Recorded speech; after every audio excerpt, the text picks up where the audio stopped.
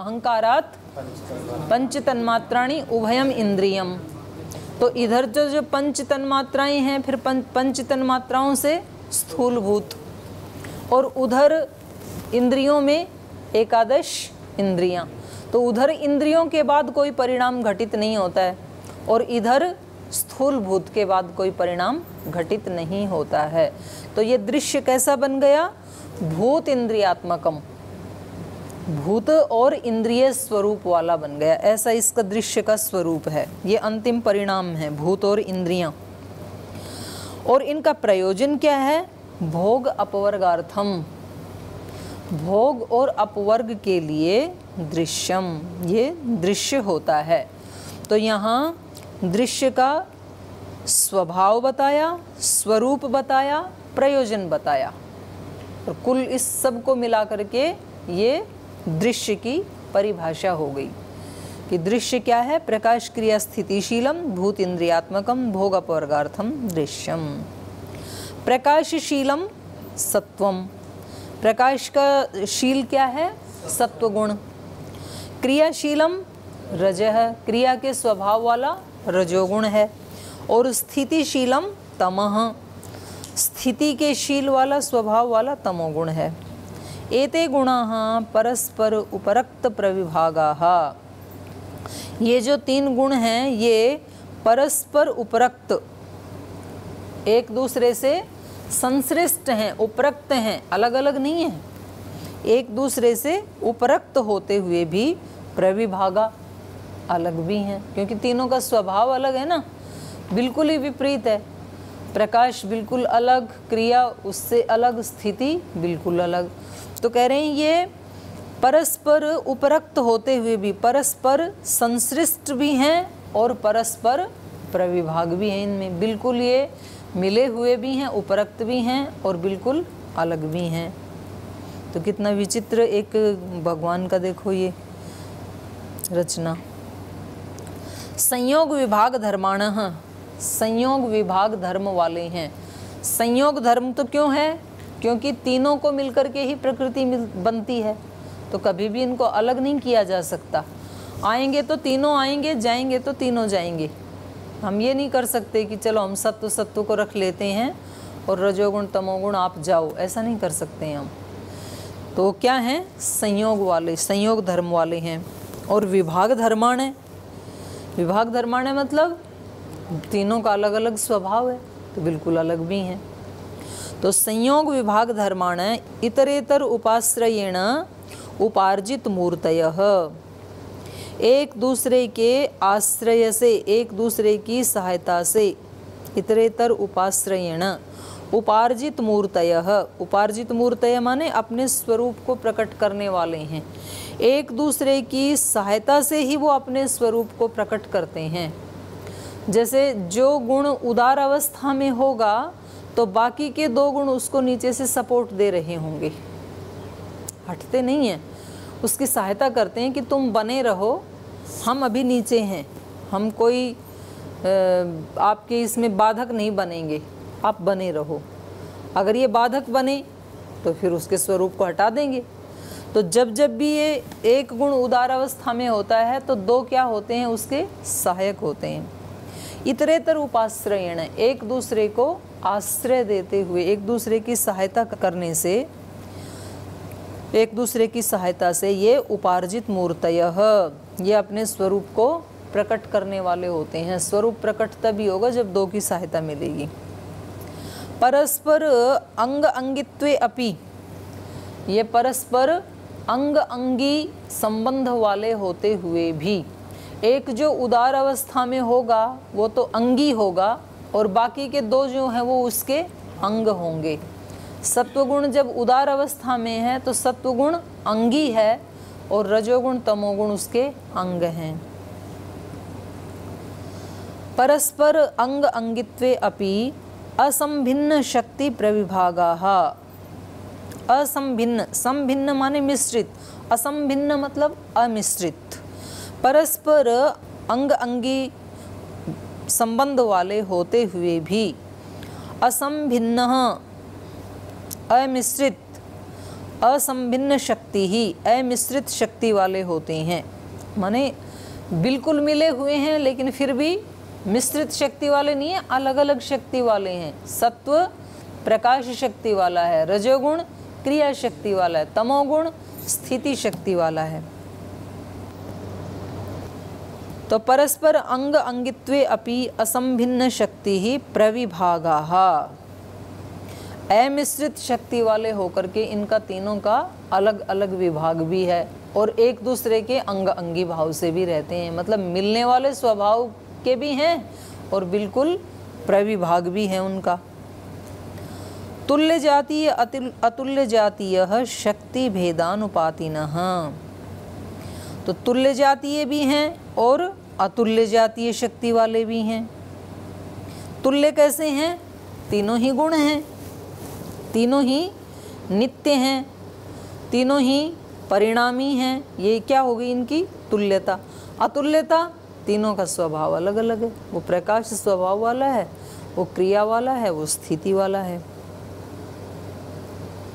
तो तुल्य अतुल्य जातीय शक्ति भेदानुपाति न। हाँ शक्ति भेद के अनुपाति होकर रहने वाले हैं ये तीन गुण। मतलब पूरा आपको ना बहुत सूक्ष्म बात समझा रहे हैं यहाँ महर्षि व्यास दृश्य के बारे में। और फिर दृष्टा के बारे में बताएँगे तो उसके बाद तो फिर कुछ जानने योग्य बनता ही नहीं है, बचता ही नहीं है। तो वो जो गुण है, सत्वरज तमसाम साम्यावस्था, वहाँ से आपको समझा रहे हैं। कि वे तीनों गुण उनका स्वरूप कैसा है? प्रकाश क्रिया स्थितिशील वाला है और तीनों बिल्कुल मिले हुए हैं, लेकिन तीनों बिल्कुल अलग भी हैं, उनका प्रविभाग भी है। तुल्य जाति भी हैं, अतुल्य जाति भी हैं। प्रधान वेलायाम उपदर्शित सन्निधान गुणत्वेपि च व्यापारमात्रेण प्रधान अंतरणीता अनुमिता अनुमिता स्थिता प्रधान वेलायाम, प्रधान वेला में, अर्थात उदार अवस्था में, जब भी कोई एक गुण अपनी उदार अवस्था में होता है, तब उपदर्शित सन्निधान, अपने स्वरूप को प्रकट करने वाला, उपदर्शित माने प्रकट करने वाला। प्रधान वेलायाम, उपदर्शित सन्निधान, उदार अवस्था में अपने स्वरूप को प्रकट करने वाला गुणत्वे पीछे व्यापार मात्रेण यद्यपि गुणत्व तो उनका भी बना रहता है, तीनों का ही बना रहता है, लेकिन एक गुण उनमें उदार अवस्था में होता है, जब उसको प्रधान वेला कहा। प्रधान वेलायाम उपदर्शित। दिखेगा तो एक ही ना, एक समय में। तो उसी को प्रधान वेला कह दिया। उदार अवस्था में अपने स्वरूप को प्रकट करने वाला गुणत्व पीछे व्यापार मात्रेण लेकिन दूसरे जो हैं, दो, वो कैसे हैं इस समय? गुण है। जो उदार है वो तो प्रधान है। जैसे सत्व उदार है तो सत्व तो प्रधान है और रजोगुण, तमोगुण उस समय गुण है। लेकिन गुण होते हुए भी, गुणत्व पीछे, व्यापार मात्रेण, व्यापार मात्र से प्रधान अंतरणीता, अनुमित अस्तिता। उस प्रधान के अंतर्गत अनुमान प्रमाण से अस्तित्व में आते हैं। माने एक उदार अवस्था में है तो अनुमान प्रमाण से ये पता लगता है कि दो अभी इसी के अंतर, अंतर्निहित हैं, इसी के अंडर में हैं, अभी दबे हुए हैं, गौण अवस्था में हैं। प्रधान अंतरणीता अनुमित अस्तिता पुरुषार्थ कर्तव्यतया। और क्या करते हैं? पुरुषार्थ, पुरुष के अर्थ मतलब है यहाँ पर प्रयोजन। पुरुष का प्रयोजन ही कर्तव्य है जिनका। पुरुष का प्रयोजन क्या है? भोग अपवर्ग। तो पुरुष को भोग अपवर्ग दिलाने का जो कार्य है, वो ही उनका कर्तव्य है। पुरुषार्थ कर्तव्यतया। पुरुष के भोग अपवर्ग रूपी कार्य को या कर्तव्य को करने वाले। प्रयुक्त सामर्थ्य। प्रयुक्त सामर्थ्य मतलब अपने सामर्थ्य का प्रयोग करने वाले, गुणों का ही विशेषण है ये, उपादान और सहकारी कारण वाले। सन्निधि मात्र उपकारिणों अयस्कांतमणि कल्पाहा। तो ये तीन गुण हैं, ये इस चेतन के सन्निधि मात्र से ही उपकारी हो जाते हैं। इस चेतन के निकट होने मात्र से ही उसको प्रभावित कर देते हैं। अयस्कांतमणि कल्पाहा। चुंबक की तरह से, चुंबक लोहे के नज़दीक होने मात्र से ही लोहे को प्रभावित कर देता है। ऐसे ये दृश्य चेतन के नज़दीक होने मात्र से ही चेतन को प्रभावित कर देता है। ये गुण। प्रत्ययम अंतरेण एकतमस्य वृत्तिम अनुवर्तमानाः प्रधान शब्दवाच्या भवन्ति। प्रत्ययम अंतरेण प्रत्यय मतलब ज्ञान। ज्ञान का मतलब है यहाँ अभिव्यक्ति। प्रत्ययम अंतरेण अभिव्यक्ति से अतिरिक्त दशा में। जब ये अभिव्यक्ति की दशा में नहीं होते हैं, कोई भी उदार अवस्था में नहीं है, तब प्रत्ययम अंतरेण अभिव्यक्ति से अतिरिक्त दशा में एकतमस्य वृत्ति अनुवर्तमाना। किसी एक ही वृत्ति का अनुसरण करने वाले मतलब साम्यावस्था में है तो साम्य वृत्ति का ही अनुसरण करने वाले हैं, क्योंकि वहाँ किसी एक का उदार नहीं है। जो मूल प्रकृति है, उसमें तीनों की अवस्था क्या है? साम्य है। तो एक ही वृत्ति का अनुसरण करने वाले हैं उस समय। प्रत्ययम अंतरेण अभिव्यक्ति से अतिरिक्त, अभिव्यक्ति तो आकर के कहाँ होगी? महतत्व में होगी।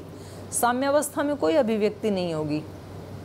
जो इनमें कुछ विषमता आई और जो पहला विकार बना, महतत्व बुद्धि तत्व तो वहाँ फिर इन तीनों का अनुमान प्रमाण से ज्ञान होता है। तो जो मूल प्रकृति है, उसमें कोई अभिव्यक्ति नहीं है इनकी।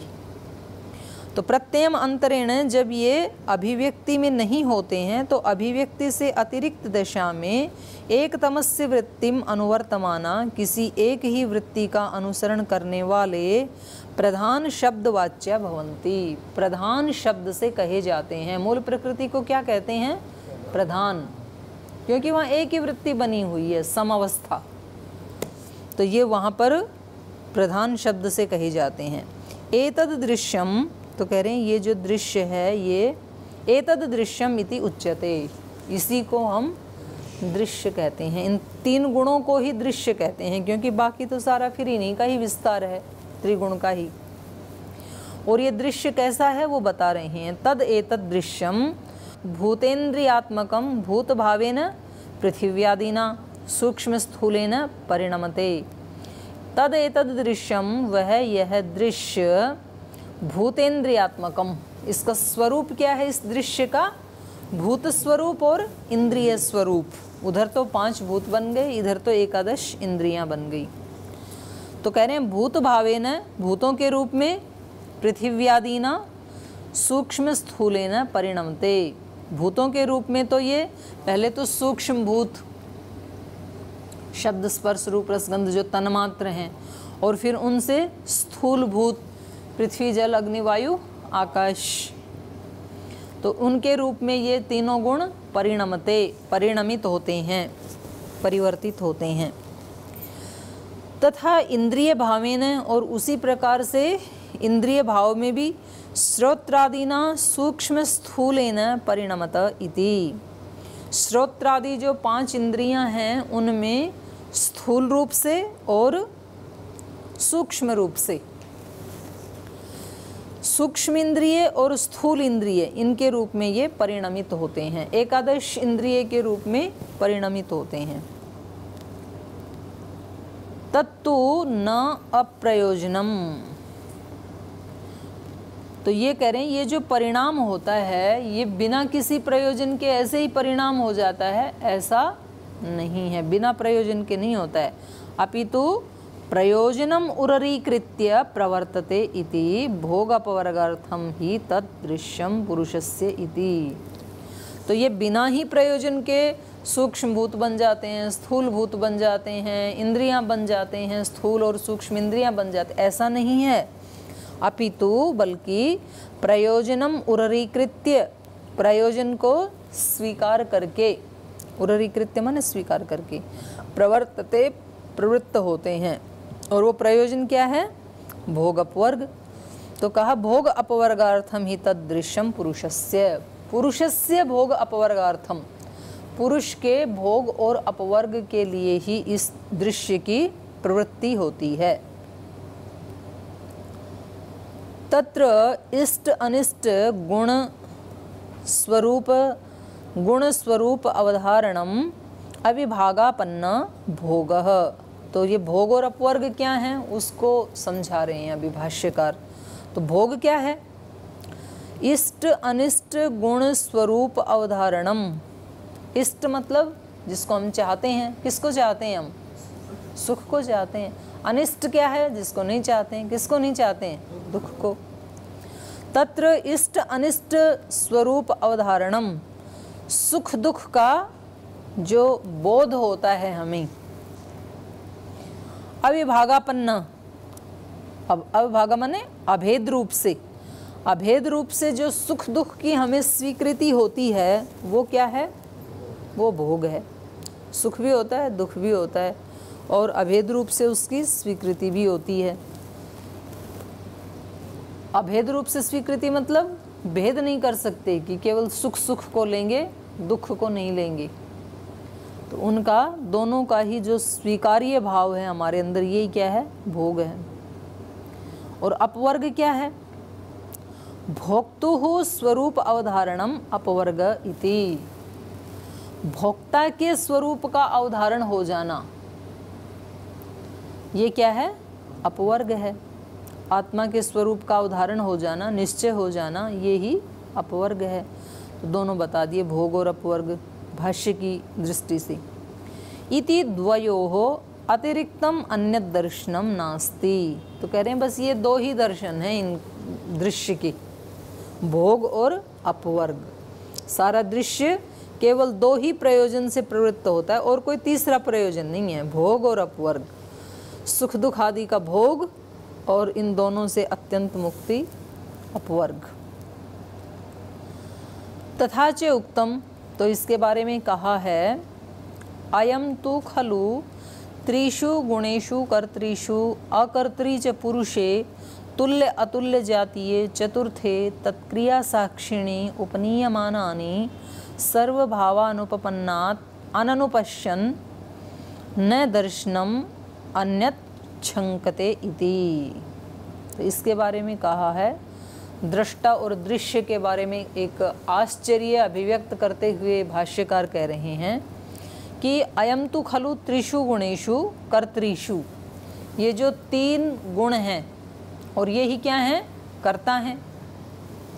तो ये कर्ता रूप इन तीनों गुणों में, और अकर्तरीच पुरुषे, और अकर्ता रूप पुरुष में, जो कैसे हैं? तुल्य अतुल्य जातीय। तुल्य जाति वाले भी हैं और अतुल्य जाति वाले भी हैं। तुल्य जाति वाले कैसे हैं? यहाँ तुल्य जाति किसके लिए कह रही हैं?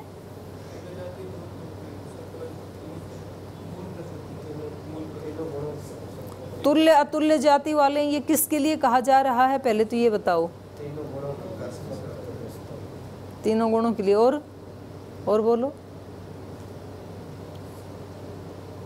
सो रहे जग रहे हो। ऊपर देखो ना क्या कह रहे हैं अयम तो खलु त्रिशु गुणेशु कर्तृषु अकर्तृच पुरुषे। दो के बीच में तुलना कर रहे हैं ना, गुण और पुरुष। कर्ता तो गुण है तीन और अकर्ता तो पुरुष है। तो इन दोनों के, इन दोनों में और इन दोनों में क्या है ये? तुल्य अतुल्य जाति वाले हैं। तो तुल्यता क्या है और अतुल्यता क्या है? तुल्यता, अतुल्यता किसके बीच में देख रही है? पुरुष और प्रकृति के बीच में, गुणों के, तीनों गुणों के बीच में और पुरुष के बीच में। तो क्या तुल्यता है और क्या अतुल्यता है, बताओ जरा। पहले तुल्यता बताओ। तुल्यता क्या है?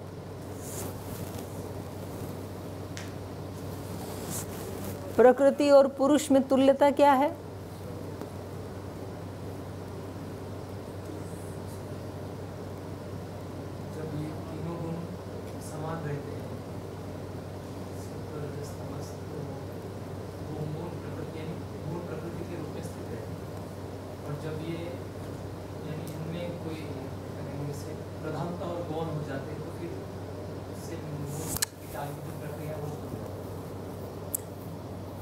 प्रश्न को समझो पहले। प्रश्न क्या पूछा है? पुरुष और गुणों में तुल्यता क्या है? हम्म। हाँ जी? हम्म। और? दोनों सत्ता वाले हैं। और? दोनों नित्य हैं। त्रिगुण भी नित्य है, पुरुष भी नित्य है। तो ये तुल्यता है ना दोनों में? और अतुल्यता क्या है? गुण परिणामी है, पुरुष अपरिणामी है। नहीं नहीं, वो तो उसका स्वरूप ही है, ऐसे नहीं कहेंगे भेद है, ऐसे नहीं कहेंगे। वो तो त्रिगुणात्मक उसका स्वरूप ही है। तो वो अपरिणामी है, ये परिणामी है प्रकृति। तो दोनों को इसलिए कहा, तुल्य अतुल्य जातीय चतुर्थे तत्क्रिया। चतुर्थ मतलब चार हो गए ना, तीन गुण और चौथा पुरुष। तो कह रहे हैं, तत्क्रिया साक्षिणी उपनीयमानान। उस क्रिया का जो साक्षी है, साक्षी मत, कौन है यहाँ पर? ये जीवात्मा। हम्म और जीवात्मा भी कैसा है ये? अविवेकी। तत्क्रिया साक्षिणी उपनीयमानानी, उपनीयमानान। उपनीयमानान मतलब प्रतिबिंबित जो हुए हैं, उन प्रतिबिंबित हुओं का, ये किसका साक्षी बनता है? गुणों का जो प्रतिबिंब उसके ऊपर गिरता है, त्रिगुण का। बुद्धि में जो एक प्रतिबिंब बना, उसको ही तो देखता है ना ये, अविवेकी जो जीव है। जब तक इसको विवेक नहीं हुआ, तब तक। तो तत्क्रिया साक्षिणी उपनीयमानान, सर्वभावानुप सर्वभावानुपन्नान सब भावों को अनुभव करता हुआ। अनुभूयमान मतलब जानता हुआ। सब भावों को अनुपन्नान अननुपश्यन। भावान अननुपश्यन। हाँ सभी भावों को अनुभव करता हुआ, माने अनुभूयमान, जानता हुआ या मानता हुआ न दर्शनम अन्यत छंकते इति। किसी अन्य दर्शन की तो ये शंका भी नहीं करता है। ये जो पुरुष है, जो ये साक्षी बना हुआ है, अविवेक की स्थिति में ये जो जीव है, ये ये तीनों गुण जो कुछ भी दिखाते हैं, बस वो ही केवल दर्शन है। बस वो ही केवल सत्य है ऐसा ही इसका अनुभव होता है। इसके अतिरिक्त भी कोई ज्ञान हो सकता है, इसकी तो ये जीव कल्पना भी नहीं करता है। कौन जीव? हम सब जीव। हम सब जीव, जो कुछ भी हम पाँचों इंद्रियों के विषयों का जो हमें ज्ञान होता है, भोग होता है, हमें लगता है कि बस ये इतना ही ज्ञान है। इसके अतिरिक्त भी कोई ज्ञान हो सकता है, गुणातीत भी कोई ज्ञान हो सकता है, उसका तो हमें कभी कल्पना ही नहीं करते हैं। इसके अतिरिक्त भी, इन विषयों के अतिरिक्त भी कोई सुख हो सकता है? ऐसा तो कभी मन में आता ही नहीं है। आपको तो बुद्धि से तो इसलिए आ जाता है क्योंकि शास्त्र पढ़ रहे हैं।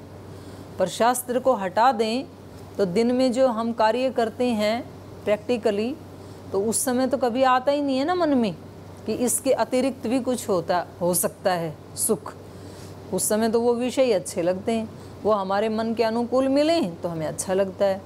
प्रतिकूल मिलें तो अच्छा नहीं लगता है। इसके अतिरिक्त भी कुछ होता है, नहीं आता है समझ में, अनुभव ही नहीं होता है। उसी को कह रहे हैं, तत्क्रिया साक्षिणी उपनीयमान सर्वभावान, सर्वभाव अनुपन्नान अननुपश्यन, न दर्शनम अन्यत छंकते। कोई अन्य दर्शन भी हो सकता है, ऐसा तो ये शंका भी नहीं करता है, सोचता भी नहीं है, विचार भी नहीं आता है। तौ एतौ भोग अपवर्गौ बुद्धिकृतौ। बुद्धौ एव वर्तमानौ। कथम पुरुषे व्यपदिश्येते इति? तो कह रहे हैं, ये जो भोग अपवर्ग हैं, ये तो क्या हैं? बुद्धिकृत हैं। ये तो बुद्धि में ही घटित होते हैं, भोग और अपवर्ग। भोग का ऊपर बता दिया ना, भोग क्या है? भोग क्या है? इष्ट अनिष्ट गुण के स्वरूप का, गुणों के स्वरूप का अवधारण ये भोग है। तो हम अपने को जो सुख दुख होते हैं, उनका जो अनुभव होता है, उनका जो स्वीकृति है, उन, उनको जो हम अभेद रूप से स्वीकार करते हैं, यही तो भोग है। और अपने स्वरूप का अवधारण अपवर्ग है, ये बताया ऊपर। तो कह रहे हैं, ये जो भोग अपवर्ग है, ये क्या है? बुद्धिकृत बुद्धिकृत हैं भोग अपवर्ग। बुद्धि में घटित होते हैं। जब हम सुख दुख दोनों को ग्रहण कर रहे हैं, हमारा ज्ञान इस प्रकार का है, अब मैं सुखी हूँ, अब मैं दुखी हूँ, ये क्या है? भोग। और जब हम मैं इन दोनों से अपने आप को अलग हटा लेता हूँ तो ये क्या है? यह अपवर्ग जब मैं अपने स्वरूप में अवस्थित रहता हूँ तो यह अपवर्ग है। और वृत्ति सारूप्य होता हूँ तो ये भोग है। तौ ए तौ भोग अपवर्ग बुद्धि एवं वर्तमान। और ये वर्तमान भी किसमें रहते हैं? भोग अपवर्ग बुद्धि में तो प्रश्न का उत्तर तो मिल गया आपका। बंधन और मोक्ष कहाँ रहते हैं? बुद्धि में दृश्य में ही रहते हैं, गुणों में ही रहते हैं। बुद्धि कृतौ बुद्धौ एवं वर्तमानौ। कथम पुरुषे व्यपदिश्येते? तो फिर ये पुरुष में कैसे इनका व्यपदेश कर दिया जाता है? कि वो व्यक्ति बंधन में है, वो व्यक्ति मुक्त हो गया या होने वाला, ऐसा व्यपदेश कैसे किया जाता है? उसका उत्तर दे रहे हैं। यथाच जय पराजयो व योद्धृषु वर्तमान स्वामिनी व्यपदिश्यते। कह रहे हैं जैसे जय पराजय वास्तव में तो किसमें वर्तमान होती है? सेना में योद्धा में, योद्धृषु। योद्धृषु वर्तमान है, लेकिन व्यपदेश किसमें होता है? स्वामी में, उसके स्वामी में। राजा में। क्योंकि सही तस्य फलस्य भोक्ता इति। क्योंकि जय पराजय का भोक्ता कौन है? राजा। उसमें व्यपदेश कर दिया जाता है। एवं बंध मोक्ष, बुद्ध एवं वर्तमान। बुद्धि में ही वर्तमान होते हैं, बंधन और मोक्ष। लेकिन पुरुषे व्यपदिश्येते। लेकिन पुरुष में इनका व्यपदेश कर दिया जाता है। बुद्धेरेव पुरुषार्थ परिसमाप्ति बंध। तदर्थ तद तदर्थ अवसाय मोक्ष इति। क्योंकि बुद्धेरेव बुद्धि में ही पुरुषार्थ परिसमाप्ति बंध। क्योंकि पुरुष का प्रयोजन बुद्धि में ही, ज्ञान से ही परिसमाप्त हो जाता है, ये तो क्या है? बंधन। माने केवल हम बाहर के विषयों का जो मन में सुख दुख आदि हैं वहीं पर ही हम अपनी यात्रा को समाप्त कर लेते हैं, ये ही बंधन है। बुद्धेरेव पुरुष अर्थ परिसमाप्ति। केवल बुद्धि में ही पुरुष के प्रयोजन की परिसमाप्ति हो जाती है, यही क्या है? बंधन, आत्मा का। और तद अर्थ अवसाय मोक्ष। और उस पुरुष के प्रयोजन का अपवर्ग में अवसान होता है, यही क्या है? मोक्ष है। तो कह रहे करें, एतेन ग्रहण, धारण ऊहापोह तत्व ज्ञान अभिनिवेशा, बुद्धौ, वर्तमान, पुरुषे, अध्यारोपित, सद्भाव। तो जैसे ये बंधन और मोक्ष बुद्धि में होते हैं, उसी प्रकार ये भी जान लेना चाहिए कि ग्रहण, धारण, ऊहा, उपा, उपोह तत्व ज्ञान अभिनिवेश, ये सब भी बुद्धि में ही वर्तमान रहते हैं। और बुद्धि में वर्तमान रहते हुए पुरुष में इनको अध्यारोपित कर दिया जाता है। ग्रहण क्या होता है? ज्ञान, जिसका हम ग्रहण करते हैं। तो ये ज्ञान भी किसमें रहता है? बुद्धि में। और धारण मतलब जो संस्कार हमने धारण कर लिए चित्त में तो ये भी बुद्धि में ही रहता है। ऊहा मतलब कल्पना। ऊहा करते हैं ना किसी चीज़ की। और उपोह मतलब अज्ञान को हटाना।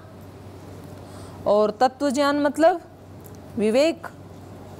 और अभिनिवेश मतलब तत्व ज्ञान का निश्चय या अपवर्ग का निश्चय। तो ये सारे बुद्धि में ही रहते हैं। बुद्ध वर्तमान पुरुषे अध्यारोपित सद्भाव। बुद्धि में अध्यारोपित कर कर दिए जाते हैं। पुरुष में अध्यारोपित कर दिए जाते हैं, क्योंकि स ही तत्फलस्य भोक्ता इति। क्योंकि वो ही इनके फल का भोगता है, इसलिए उसमें अध्यारोपित कर दिए जाते हैं। तो ये दृश्य का स्वरूप इन्होंने बताया, इसको पढ़ के आना। दृश्य को और थोड़ा सा कल आगे बढ़ाएँगे, अभी। अलम। ॐ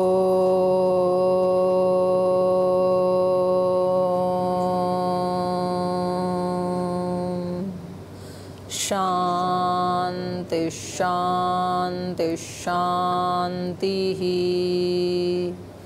श्रीगुरुभ्यो नमः